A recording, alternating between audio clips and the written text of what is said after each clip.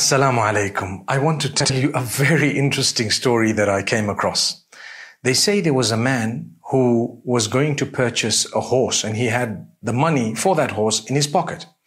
And so a friend of him asked him, where are you going? He says, I'm going to buy the horse. So the friend says, say insha'Allah.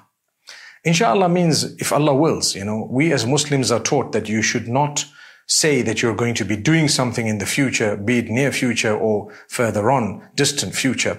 Don't say, I'm going to be doing something without saying, inshallah, if Allah wills. Because if Allah doesn't will, it's not happening. The Quran says, وَلَا تَقُولَنَّ لِشَيْءٍ إِنِّي فَاعِلٌ ذَلِكَ غَدًا إِلَّا أَن يَشَاءَ اللَّهِ So that verse actually has the same meaning, what I just said now. Don't say that you're going to be doing something in the future except by the will of Allah, inshallah. So his friend tells him, say inshallah. He said, for what? I've got the money in my pocket and I'm going to buy the horse. The horse is there. that's it. Say inshallah. The man didn't understand the value of inshallah, so he didn't say it. He questioned it. Why should I? I mean, it's something happening. He said, just say inshallah.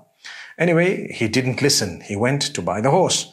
So he went to the market and he saw a few horses and he saw the one he wanted and he uh, he told the man, right, what's this uh, price? He said, well, the price is as you know, it's so much. We're not changing it.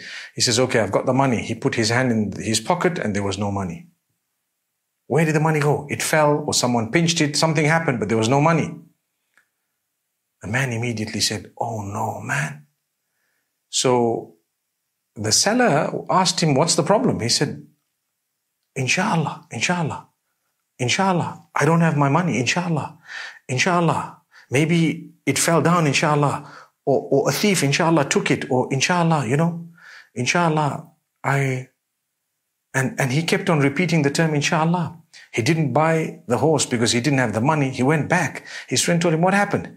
He said, Inshallah, I went to the market, Inshallah, I saw the horse, Inshallah, I met the man, Inshallah, I, and he started saying Inshallah for everything in his sentence.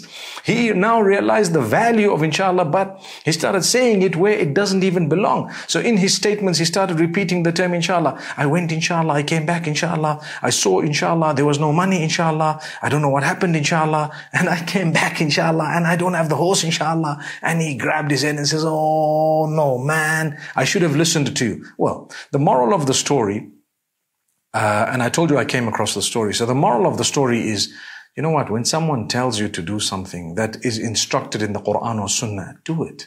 Don't question it and say, why should I? I mean, if Allah, if Allah says, say inshallah, just say it. Look, I'm going to buy this horse inshallah and tomorrow we're going to be going inshallah or I'd like you to visit me inshallah and so on. The t- only time you don't say inshallah is when you're making a dua.